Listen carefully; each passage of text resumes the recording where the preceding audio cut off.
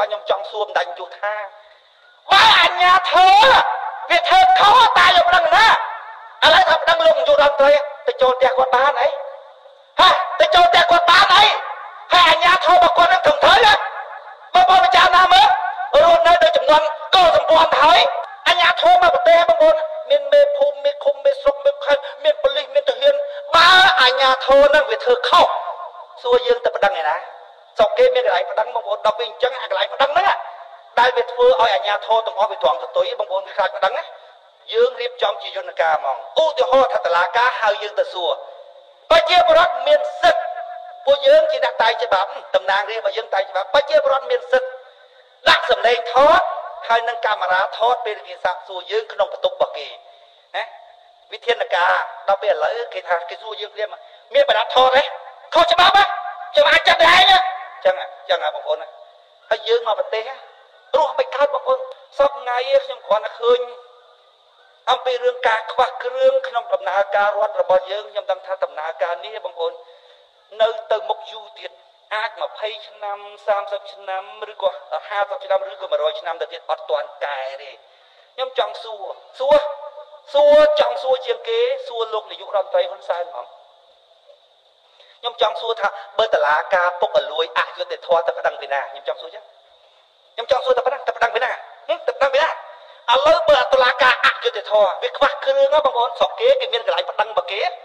ពុតឡើងប្តឹងដល់ពេលអតឡាការអាចៅក្រមហ្នឹងវាភ័យថាយើងប្តឹងវាត្រង់ភ្លឹងហ្មងដល់ពេលតឡាការសប្ងៃស្រេចតែវាណា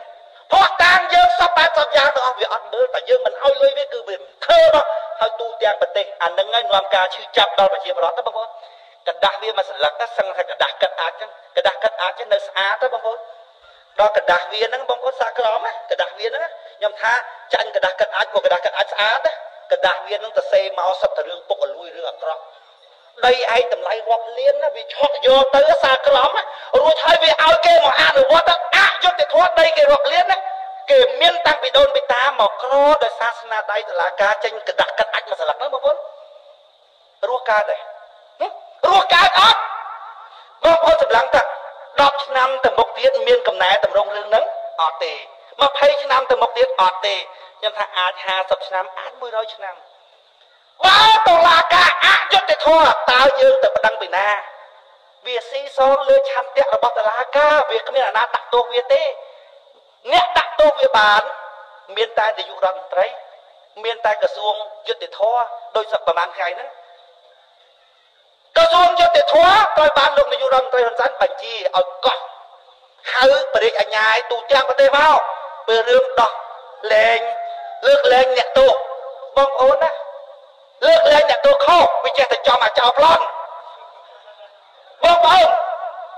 គ្រាន់តែតុលាគ្រាន់តែ ស្ថាប័ននីតិប្រតិបត្តិណារួចហើយទៅត្រួតតឡាការមួយហ្នឹងក៏បញ្ហាដែរបងប្អូនអត់ត្រូវ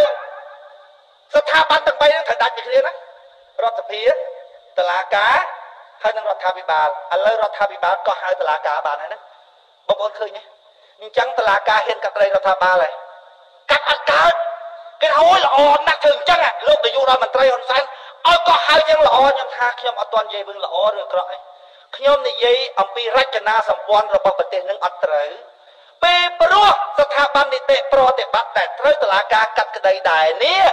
រួចហើយគាត់មានសិទ្ធិហៅចក្រមហៅអីមកហើយគាត់មានសិទ្ធិដកហើយចក្រមឯណាដែលមិនព្រមទៅធ្វើតាមនាយករដ្ឋមន្ត្រីកើតបងប្អូនវាត្រូវតែធ្វើឲ្យចាប់សពរៀនស៊ីចាប់ឲ្យចេញទៅការចេញវាមិនចឹងហើយគេនិយាយថាអនុវត្តនីតិរដ្ឋតែអញ្ចឹងហើយបងប្អូនមើលអង្គុយមើលថាតើ20ឆ្នាំទៅមុខទៀតអាចកែកន្លែងនឹងកើតទេខ្ញុំសម័យ20អត់ទេ30ក៏អត់ដែរហេតុអីបានអត់បងប្អូនពីព្រោះវាអត់មានសម្ពាធពីការយល់ដឹងរបស់ប្រជាប្រដ្ឋ ប្រជាប្រដ្ឋក៏អត់យល់ថាអានឹងមកពីខ្វះស្ថាប័នក៏អត់យល់ដល់អត់យល់ក៏អត់មានការទៀមទាដល់អត់មានការទៀមទាវាអត់មានសម្ពាធទៅលើរដ្ឋាភិបាលឲ្យកែទេអញ្ចឹងបើខ្ញុំចង់សួរលោកនាយករដ្ឋមន្ត្រីហ៊ុនសែនថាបើតឡាការវាអយុត្តិធម៌នោះណាតើទៅប្តឹងកណ្ដាហើយមិនតិចទេណាបងប្អូនរាជធានីភ្នំពេញសួរតែចៅក្រមប្រមាណព្រះអញ្ញាប្រមាណចៅក្រមស៊ើបសួរប្រមាណសត្វតែអយុត្តិធម៌ថាសត្វទាំងចុះគេអាចប្តឹងយើងបាននៅតាមខេត្តចឹងទៀត ស្រេចទៅលើវាបងប្អូនខ្ញុំជួបរឿងមិនដឹងជាប្រមាណដងគេនេះគេអត់មាននិយាយពីរឿងខុសនឹងត្រូវបងគេអត់មាននិយាយរឿងផុសតាងមិនផុសតាងគេនិយាយតែពីរឿងលុយនេះមួយហើយមិនឲ្យលុយខុសក៏ដោយត្រូវត្រូវខុសក៏ដោយត្រូវអាចយើងត្រូវដែរខុសគេនិយាយទី2មានខ្សែអត់បើមានខ្សែបញ្ជាមកអន្តរាគមមកសម័យយើងឥឡូវហើយមើលបែក79បែកសម័យសម័យឥឡូវហើយអន្តរាគមតើអន្តរាគមហើយដោយរឿងអាមឿនអន្តរាគមមកមុនអន្តរាគម រស់កើតដែររស់កើតដែរយើងទាំងអស់គ្នាមិនងើបធ្វើទេងាប់ហើយកន្លែងហ្នឹងអញ្ចឹងខ្ញុំថាបើប្រជាពលរដ្ឋខ្មែរមិនងើបធ្វើទេអានឹងងាប់ហើយអត់អត់ឃើញថ្ងៃណាមួយថាមួយខែទៅមុខទៀតរឿងហ្នឹងប្រហែលបញ្ចប់ហើយមើលទៅពីខែទៅមុខទៀតខ្ញុំសម័យមើលទៅខ្ញុំថា20ឆ្នាំទៅមុខទៀតរឿងតឡាការមានប្រជាពលរដ្ឋប្រជាពលរដ្ឋអាចមានស្ថាប័នប្តឹងតឡាការខ្ញុំថាដូចអត់ទេដូចអត់មានទេនឹងមួយដល់ទី2បើ អញ្ញាធោធ្វើមិនត្រឹមត្រូវតាមច្បាប់តើខ្ញុំទៅប្តឹងឯណាពីរធំណាស់បងប្អូនណាអញ្ញាធមមកប្រទេសបងប្អូនមានមេភូមិមេឃុំមេស្រុកមេខេត្តមានប៉ូលីសមានទាហានបើអញ្ញាធមនឹងវាធ្វើខុសសួរយើងទៅប្តឹងឯណាស្រុកគេមានកន្លែងប្តឹងបងប្អូនដល់វាអញ្ចឹងអាកន្លែងប្តឹងហ្នឹងដែលវាធ្វើឲ្យអាញាធរទាំងអស់វាត្រង់កតុយបងប្អូនវាខ្លាចប្តឹងណាយើងរៀបចំជាយន្តការហ្មងឧទាហរណ៍ថាតឡាការហៅយើងទៅសួរ ប្រជាពលរដ្ឋមានសិទ្ធិពួកយើងជាអ្នកតែងច្បាប់តំណាងរាស្ត្ររបស់យើងតែងច្បាប់ប្រជាពលរដ្ឋមានសិទ្ធិដាក់សម្លេងថតហើយនឹងកាមេរ៉ាថតពេលគេសាកសួរយើងក្នុងបន្ទប់របស់គេណាវិធានការដល់ពេលឥឡូវគេថាគេសួរយើងព្រាមមានបដាថតទេខុសច្បាប់ហ៎ចាំអាចចាត់ដែរណាចឹងចឹងហ่ะបងប្អូនហើយយើងមកប្រទេសរស់មិនកើតបងប្អូនហើយសួរតែខ្ញុំនិយាយហ្នឹងជាខ្ញុំខ្ញុំបដិទ្ធគេថាពួក អាបាឆាំងផ្កាប់មុខអកតេអសតេឥឡូវខ្ញុំអសតេតែលោកនាយករដ្ឋមន្ត្រីហ៊ុនសែនគាត់និយាយថាម៉េចគាត់មិនអនុញ្ញាតឲ្យអ្នកណាមួយជាប់គុកដោយសាររឿងដីធ្លីទេគាត់ថាគាត់មិនអនុញ្ញាតទេណាមកដល់ថ្ងៃនេះគឺអត់មានអនុញ្ញាតឲ្យអ្នកណាមួយជាប់គុកពីរឿងដីធ្លីទេអថុយនៅសង្ហៃគេដេញចិត្តដីកាដេញចាប់ទៀតណាទៀតណាហើយបងប្អូនទៅសួរទៅសួរអថុយវាថាម៉េចទេ វាថាពូជួយគិតបញ្ញាណាបន្តិចមើលដីរាប់ពាន់ហិកតាមនុស្សរាប់ពាន់គ្រួសារនៅលើនឹងគេអាចធ្វើផ្ទះគេអាចធ្វើអីក៏បានខ្ញុំកាប់តែមកជាប់ក៏អត់បានដែរគេថាដីនឹងដីបរដ្ឋខ្ញុំចង់សួរថាហេតុអីបានគេនៅបានដូចនៅអត់បាននៅអត់បានទាំងអស់គ្នារាប់ពាន់គ្រួសារដីខ្ញុំតែ4 10ហិកតាប៉ុណ្ណឹងមួយក្រុមគ្រួសារខ្ញុំ7 8នាក់មានដីតែប៉ុណ្ណឹង ចាក់បន្តកតុយគ្នាហេតុអីបានគេនៅបានពូហេតុអីបើខ្ញុំនៅមិនបានក្មួយក្មួយទៅសួរពីណាក្មួយសួរប្រអិនណាបាតកម្មនៅកន្លែងដីហ្នឹងបាតមិនបាន ពីព្រោះភូមិឃុំស្រុកខេត្តចូលរួមជាមួយវា បាតកម្មមកពេញគេថាយើងអត់ច្បាប់ហើយទៅកន្លែងណាបងប្អូនងាប់ងាប់ដល់ពេលគេចេញទៅការសុំចាប់វាណាបងប្អូនគ្នារបស់យើងថាពូសួរអថុយមើលវាចង់សុំសិទ្ធជ្រកកោននៅស្រុកគេអត់ ពីព្រោះវានៅអត់បានគេដេញចាប់វាហើយឥឡូវអថុយវាថាម៉េចទេវាថាខ្ញុំទៅណាទេពូខ្ញុំស្រឡាញ់ប្រទេសខ្ញុំតែបើខ្ញុំក្រខ្ញុំអត់ចង់ទៅរស់នៅប្រទេសណាពូទោះបីខ្ញុំអាចទៅរស់នៅបានក៏ខ្ញុំរួមកើតដែរបងប្អូនរឿងបែបហ្នឹងកើតមកប្រទេសបងប្អូនអត់ទៅរួចទេណាគ្រាន់តែកសែតចុះផ្សាយរឿងអយុត្តិធម៌ហ្នឹងកសែតវាអត់ទាន់ដឹងចុះបានតែម្លេចទេគេទេពីខេត្តមកគម្រាមភ្លាមហ្មង គេមានគេបាក់គេពួកហើយរឿងហ្នឹងជារឿងពិតទេអញ្ចឹងបាទខ្ញុំចង់សួរម្ដេចយុថាបើអញ្ញាធ្វើវាធ្វើខុសតាយកដឹងណាឥឡូវថាដឹងលោកនាយករដ្ឋមន្ត្រីទៅចូលផ្ទះគាត់បានអីហេទៅចូលផ្ទះគាត់បានអីហើយអញ្ញាធម៌របស់គាត់នឹងត្រឹមត្រូវហ៎មកបងពិចារណាមើលរស់នៅដោយចំនួនកោសម្ព័ន្ធទៅហើយវាស៊ីសងលើស្ដាច់ហើយគេអង្គុយហៀមហៀមចឹង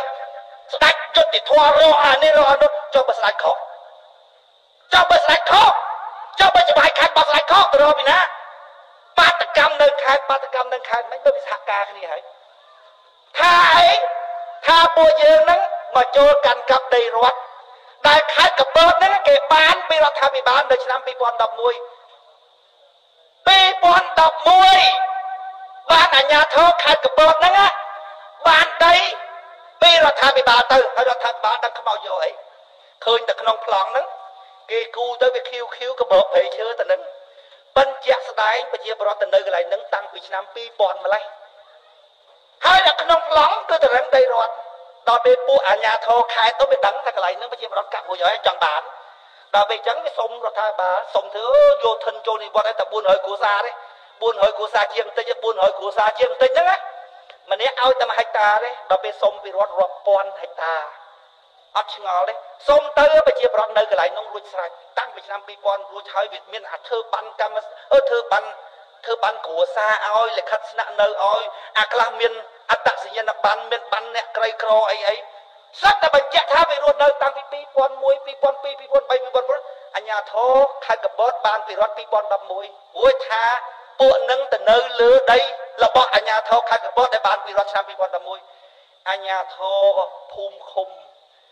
សហការគ្នាជាមួយខេត្តដើរប្រមូលបានគ្រួសារប្រជាប្រដ្ឋដែលឲ្យតាំងពី2003 2004ហេបងប្អូនហើយយកមកធ្វើថ្មីបងប្អូនអញ្ញាធរសហការគ្នាធ្វើចោលរស់មិនទៅហេមើលតែមកកន្លែងណាបងប្អូនគេឲ្យបាត់ពិសោធន៍ខេត្តអញអញធ្លាប់ធ្វើចឹងបានហើយធ្វើច្បាយខេត្តទៅខេត្តណាហើយធ្វើតាមអញទៅអញ្ចឹងហើយបានប្រាក់ខែវាតែ3 4 500ប៉ុន្តែបងប្អូនមើលផ្ទះវាមើលវិឡាវាមើលឡានវាមើលខ្ញុំដូចខឹងគេទេបងប្អូន ខ្ញុំខឹងរឿងយើងភ្លឺឲ្យគេជន់ក្បាលបានទេបើគាត់ក៏ប៉ុណ្ណឹងហើយមិនព្រមងើបទេបងប្អូនមិនយូរទេឆ្នាំនេះ51ហើយខ្ញុំណាមិនយូរទេបងប្អូន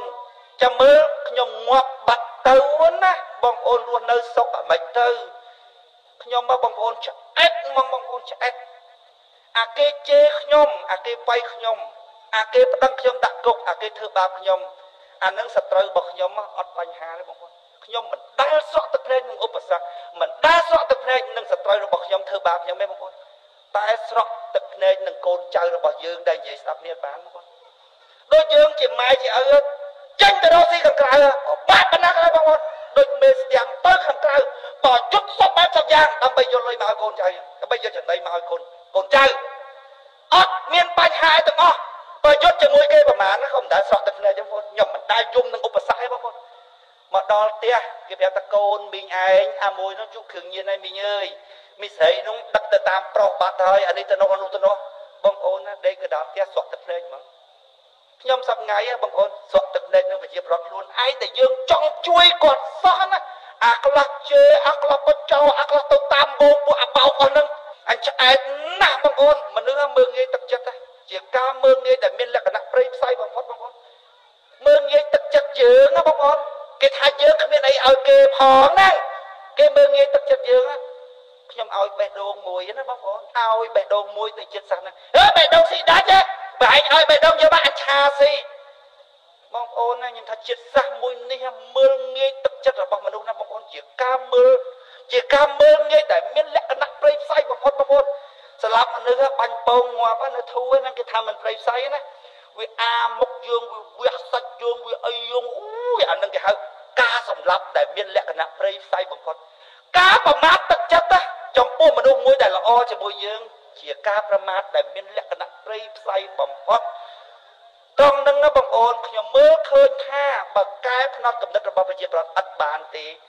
ស្រុកមួយនេះអត់មានអាណាជួយបានទេ